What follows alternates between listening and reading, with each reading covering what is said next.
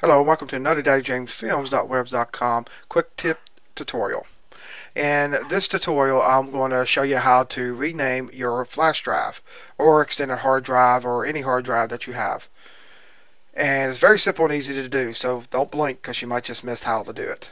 First thing you want to do is go to Start, Computer, and um, this is an external hard drive, but to, to do your flash drives and stuff like that is very same. Uh, all you have to do is you can uh, click and then click and it'll do this or you can right click and go to go down to rename and then just name it whatever you want. And once you rename it you will see the new name right here. And there you go. That's all it is to it. Anyways that's it for this quick tip. Comment give me a thumbs up and subscribe